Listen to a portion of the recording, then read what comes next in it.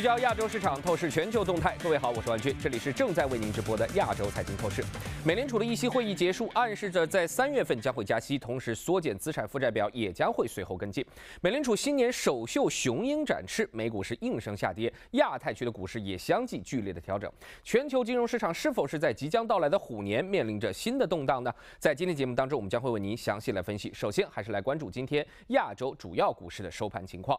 今天我们首先来关注内地的股市，在在开盘之后出现了震荡走低的情势，沪深两市在尾市跌势有所加剧，而沪指是失守了三千四百点的关口，这也成为了去年八月份以来的第一次，跌幅已经达到了百分之一点七八。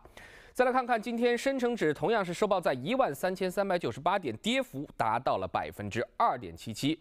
那香港股市在今天同样也没有避免下挫的这样一个大势，恒生指数还失守了两万四千点的整数关口，最多的时候急跌了七百二十四点，中场收报在两万三千八百零七点，这也来到两周的新低位。不过台湾股市在今天是休市，所以说没有受到相应的冲击。那由于美股的大的跳水，这影响到了亚太区很多这个股市同样受到了影响，所以我们可以看到日本股市在今天也重挫达到了百分之三点一一，失守了两万七千点的大关。同时，这也创下了十四个雨来的新低位。那韩国首尔股市更是急跌，达到了百分之三点五。很多人都在说，韩国的这个熊市或者叫技术性的熊市，是不是已经到来？要打一个问号。那目前正在交易的伦敦股市，在今天是显著的低开之后，快速的走高，现在已经转升了零点五个百分点左右。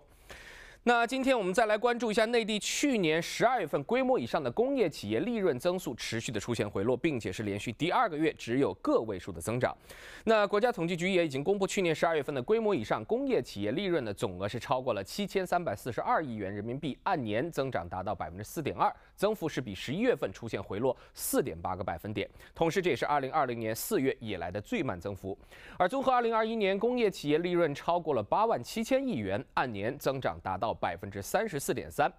国家统计局也指出了，二零二一年的工业利润实现了比较快的增长，但是下游行业，尤其是小微企业，经营压力仍然是比较大的。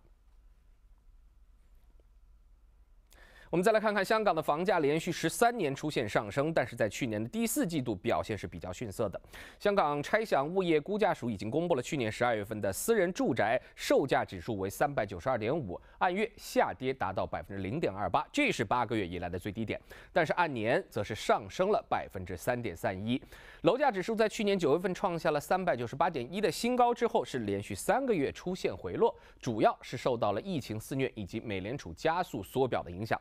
那么，财政司司长陈茂波在接受访问时也特别表示，特区政府暂时还没有意愿来撤销针对楼市需求的管理措施。电动车生产商特斯拉的业绩是再次创下新高，并且是好过了市场的预期。那么，上海工厂的交付量占据到了特斯拉全球版图的半壁江山。特斯拉已经公布了去年第四季度的净利润是超过了二十三亿元美元，按年飙升了七点六倍，每股盈利为两点五四美元，而期内收入超过了一百七十七亿美元，按年增长接近百分之六十五。特斯拉二零二一年的全球交付量是九十三点六万辆，其中上海超级工厂的交付量已经超过了四十八万辆，占比已经高达百分之五十一点七。同时，这也占据到特斯拉全球交付量的半壁江山。那特斯拉还表示，今年不会推出新的车款，公司也希望芯片供应紧张的情况可以在明年得到缓解。那至于在亚太区内，其他的媒体还在关注哪些财经热点？我们一块来了解一下。서로 유리한 고지에 서기 위한 군사적 힘겨루기가 韩国 KBS 放送公社报道，随着乌克兰危机升级，在当地有业务的三星电子、韩泰轮胎等十家韩国企业开始保持警惕，为战争爆发与制裁波及做好应急预案。国内韩企同样担忧会进一步导致原材料价格上涨。此外，韩国已将乌克兰十二个省的旅行警告升级为三级，即离境警告。 24日時点で1リットルあたり170.2円となり，同样受乌东局势影响，日本汽油价格飙升至十三年最高位，为每升一百七十点二日元。日本政府今天宣布，即日起对石油公司进行销售补贴，采取非常规措施，遏制油价上涨。补贴金额为三点四日元，将发放给全国加油站，从而保证零售价的优惠。 This booth in Chinatown is from e-commerce platform Shopee. It features group. 新加坡的网上购物正在蓬勃发展，在过去两年中，一些平台的在线购物人数增加了八倍。虎年春节临近，多家电商平台的年货节正在进行中，并纷纷推出过年不打烊促销和送货服务，保障客户购物无忧。数据显示，新加坡消费者不仅大量囤积肉干、菠萝馅饼等食品杂货，还购买了服装、家居用品、游戏机等新年必备品。北京时间周四的凌晨三点，美联储公布了一月份的利率决议，暗示三月结束资产购买，并且加息，缩表也将会随后跟进。美股三大指数短线拉升之后是集体出现跳水，亚太区的主要股指也应声下跌。在下一节，我们将会邀请到交银施罗德基金策略分析师马涛以及国泰君安国际策略分析师白葛一块儿来详细解读。稍后见。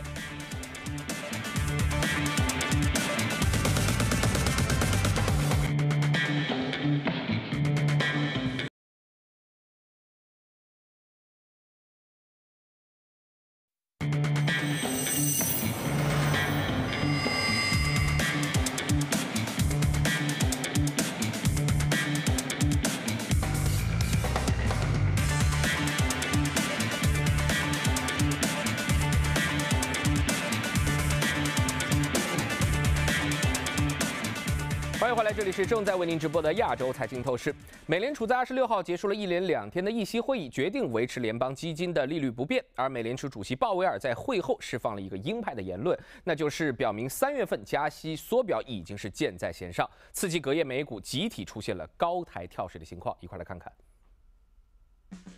I would say that uh, the committee is, uh, is, is of a mind to, to, to raise the federal funds rate at the March meeting, assuming that uh, conditions are appropriate for doing so. 美联储在今年首次议息会议上按兵不动，决定维持联邦基金利率目标区间在零到零点二五厘不变。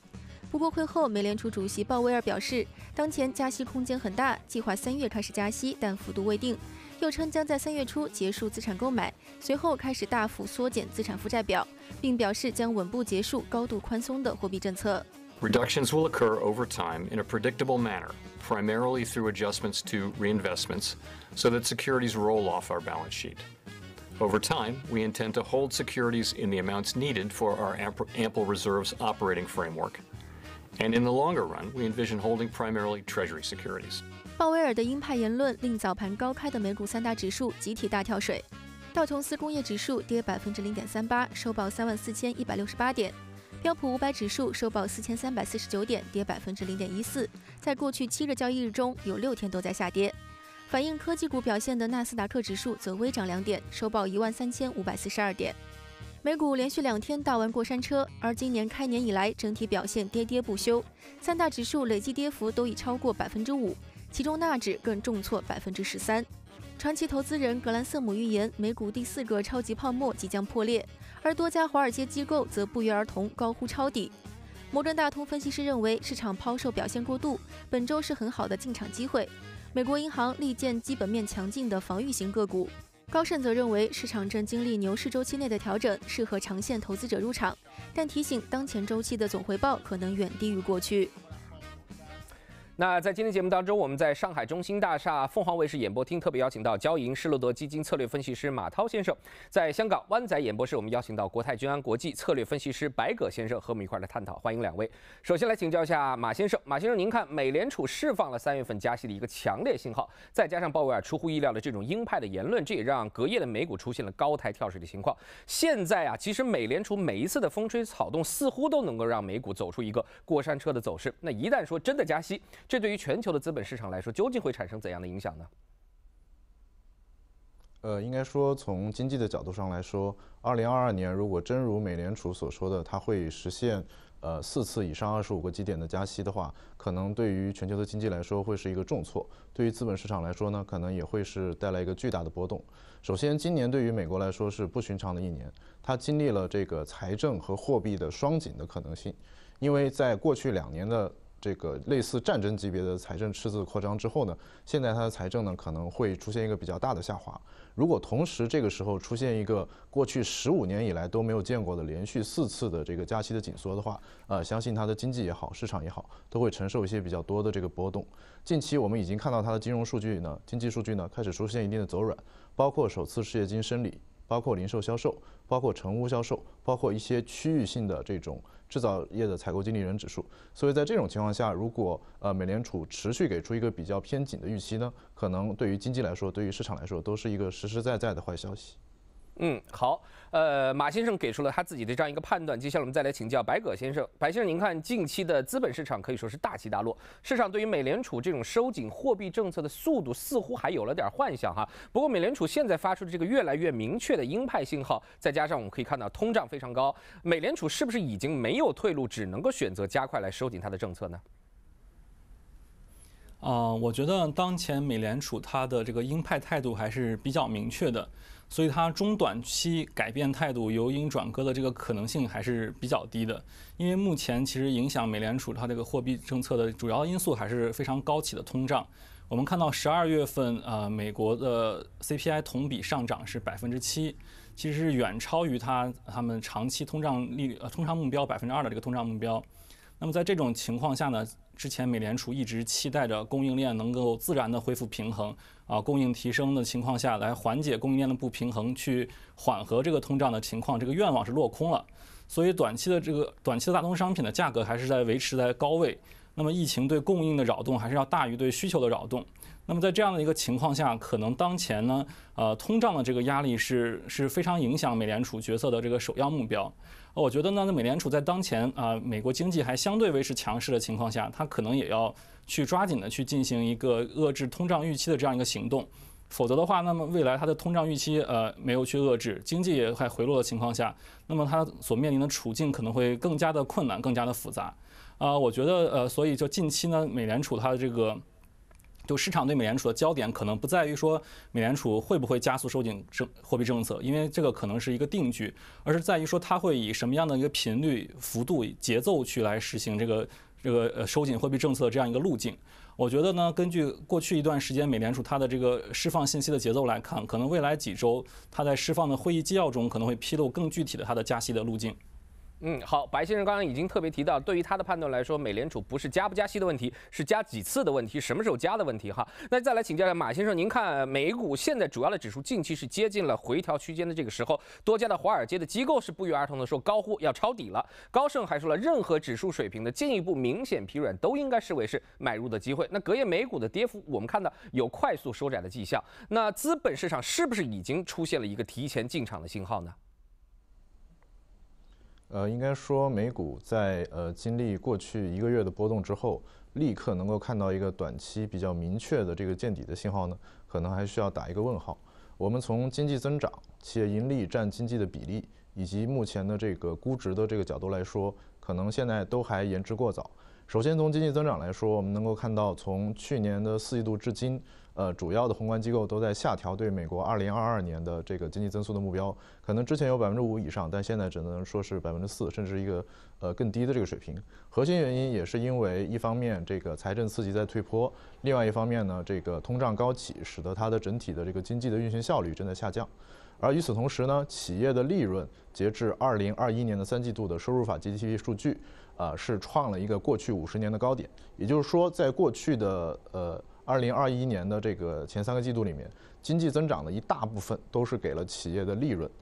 也就是说，整个体的企业从经济里面拿走的比例已经很大了。如果接下来经济增速还往下，可能对企业利润是有一定的下行的压力的。第三点，从这个市场的估值来说，如果我们去看诺贝尔学呃诺贝尔经济奖得主呃罗伯特席勒先生的这个周期调整的市盈率这个指标的话，目前的美股的周期调整市盈率 CAPE 已经。达到了接近两千年抗网泡沫左右的那个水平，是处于一个历史的高位的。在这种情况下呢，可能对于任何经济的基本面的下行的因素都会非常非常的敏感。所以从任何一个角度，经济增速或者是企业盈利占经济的比例，以及长期的周期调整的市盈率来说，目前的美股都难言便宜。呃，现在立刻靠一个底部的话，是有一些比较大的风险的。嗯，好，这是美股的情况。接下来我们再和白先生来探讨一下今天港股的情况。我们可以看到，港股今天是跟随亚太的市场是急跌，跌幅一度还超过七百点，外围极其的波动，又临近春节的假期，所以是不是认为说港股在短期之内比较有难以有一个很像样的表现了呢？嗯，我觉得是这样的。我觉得港股短期内还是比较脆弱的。一方面呢，此前南下资金连续几个交易日净流入，那么从今天到春节期间呢，它这个南下交易呃暂停，那么市场缺乏一股比较重要的做多力量。呃，另外一方面呢，在美联储这个加息预期这个带来的不确定的情况下，可能会持续压制市场的表现。所以在这样的呃这样的有宏观不确定性因素的情况下，我觉得港股短期呢可能还是维持一个低位波动的状态。好，呃，再来请教马先生。马先生，我们从基本面来看啊，全球油价是在大涨的，美国的通胀压力可以说越来越大，还有疫情的这个不断的反复，供应链的瓶颈没有办法得到缓解，美国的经济是面临着衰退的压力的。我们甚至还看到 IMF 也下调了2022年和2023年美国经济增长的预期。在这样一个大环境之下，美联储还要不断的加息的话，是不是会让美国的经济甚至全球的经济雪上加霜呢？对，所以其实美联储是在。玩一个比较危险的游戏，或者说他是在走钢丝。呃，事实上呢，美联储是寄希望借用2022年呃这段可能美国经济还不错的时点，然后去加强紧缩的节奏，使得大宗商品能够提前转向，使得美国的输入性通胀能够平息，使得这种通胀和工资形成的这种通胀螺旋能够慢下来。这样的话呢，不会过多的影响今年的中期选举前夕的这个经济的稳定，也不会给美国企业的利润，特别是人力的资本这块儿，呃，所占的这个负担带来太多的这个波动。但是事实上，我们能够看到，在过去的一个月的时间里面，每次这种紧缩的信息释放的过程里面，都是美股，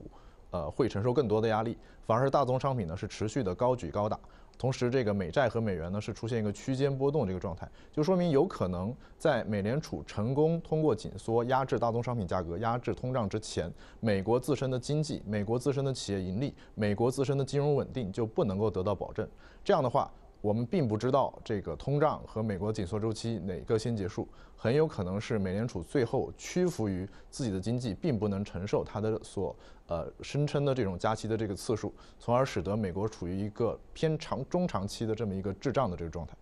嗯，好，再来问问白先生，您看今天港股大部分的是跌势当中啊，部分像航运股、能源股相对来说是跑赢大势的，而我们看到像科技股、教育股呢，成为了跌势的重灾区啊。在新的政策环境之下，投资者可以在哪些行业当中寻找一些机会呢？呃，我认为双双碳主题可能是会长期受益的一个主题行业。呃，经过这一轮回调之后呢，可以选择相对低估值或者确定性比较强的呃个股。然后具体在具体到板块方面呢，可以考虑汽车零部件、清洁能源和电力设备几个产业。除此之外呢，我认为在当前波动性比较强的市场当中呢，可以考虑低估值高股息的优质个股，尤其是具有高分红预期或者提呃或者进行股份回购的优质国企，因为在在这样的情况下，他们的低估值高股息能够提供一个较强的固呃安全边际，同时呢也不容易受到流动性扰动的影响。另外一方面呢，在国家共同富裕政策的影响下，很多国有企业开始重视市值管理。未来呢，可能会有更多的一些优质的国企去提高分红率，进行股份回购，那么有助于这些企业进行一个估值回归。我认为，在未来波动的市场中，这些具有一定的防御性的板块可能会继续受益。好，呃，再最后来请教一下马先生哈，您看今天内地这个股市同样不能幸免，呃，沪指还失守了三千四百点的这样一个关口，创业板还下跌百分之三，非常重要的这样一个跌幅了。一般来说，我们看外围同步震荡时候，A 股可能更多的时候走出一个独立的行情，但今天为什么 A 股反应会这么大呢？那么美联储新一轮的这样的一个政策，会不会对 A 股带来更多的影响？呃，应该说对于 A 股来说呢，可能。呃，这次美联储紧缩的意义呢，更不是影响 A 股的这个流动性环境，更多是影响 A 股的这个企业盈利的这个预期。因为如果从中美两国的实际利率差距来说的话，目前中国的实际利率还是正数，就是说我们的一年期利率呢还是在通胀以上。但是美国的实际利率，就是美国的一年期利率呢，已经是远低于它的通胀，因为它通胀实际上太高了。在这种情况下的话，中国的跨境资本流动整体应该是相对来说比较稳定的。然后美国这个时候紧缩传递给中国呢，更多是一个外需走弱，后续的这个出口可能面临下行风险的这么一个状态。在这种情况下的话，决定 A 股未来方向呢，可能更多是内需接下来能不能发力，顶起来，抵消外需下滑的这个空间。我们能够看到，在最近的市场震荡中呢，每当可能整体的市场出现弱势的时候，A 股的稳增长板块，包括金融地产，包括这个建筑建材，包括家具家装，后续有可能受益于呃国家宽信用、稳增长的一系列的这个政策的这个相应的这个板块呢，就会逆势走强，成为市场的中流砥柱。所以后续呢，可能在节后我们会看到更多的稳增长措施来抵消外围可能输出输入的一些这个经济下行风险。好，今天也特别感谢马先生还有白先生来到节目当中给我们做出专业的分析，谢谢两位。其实随着中国经济持续的稳定发展，人民币在国际市场当中的影响力也变得越来越大。那么在未来，香港作为最大的人民币离岸市场，又将会在人民币国际化当中发挥怎样的作用呢？在下一节，我们将会邀请中银香港资深策略规划师应坚先生和我们一块儿来探讨。稍后见。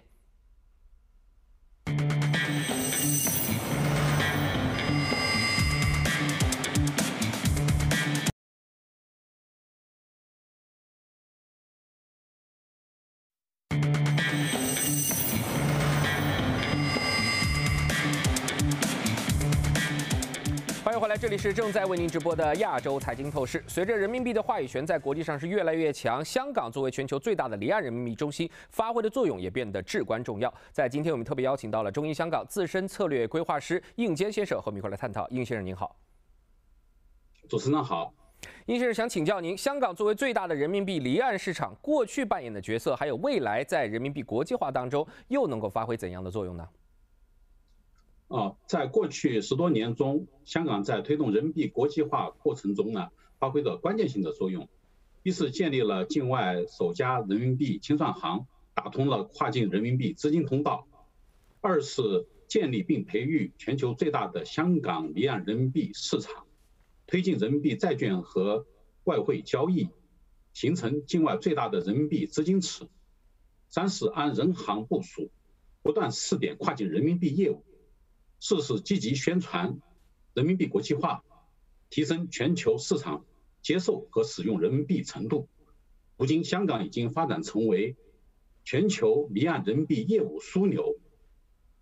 是全球市场使用人民币的重要节点。人民币国际化呢，已经进入了一个新的战略机遇期。“十四五”规划提出稳慎推进人民币国际化。为香港人民币市场建设呢注入新的动力。我认为呢，香港应该继续发挥好离岸人民币业务枢纽的重要作用。首先呢，是加强人民币平台建设，完善人民币市场机制，丰富人民币产品，提升人民币服务能力。其次呢，是加强跨境人民币渠道建设，引入更多的金融市场互联互通。第三呢，是加强人民币流动性管理，例如，香港人民币清算行可以利用在站市场的交易，为离岸市场呢提供充裕的流动性，促进人民币市场健康稳定发展，为人民币国际化和内地资本项目的开放呢做出更大的贡献。嗯，啊，应先生再请教您啊，我们看随着人民币的国际地位不断提升，未来要如何进一步提升离岸人民币市场的竞争力呢？呃，确实如此。呃，人民币国际货币功能呢是不断的提升。根据 SWIFT 的组织最新公布呢，人民币已经成为了第四大国际支付货币、第五大国际交易货币和第三大贸易融资货币。此外呢，二零一六年十月，人民币被正式纳入人民纳入 SDR 货币篮子。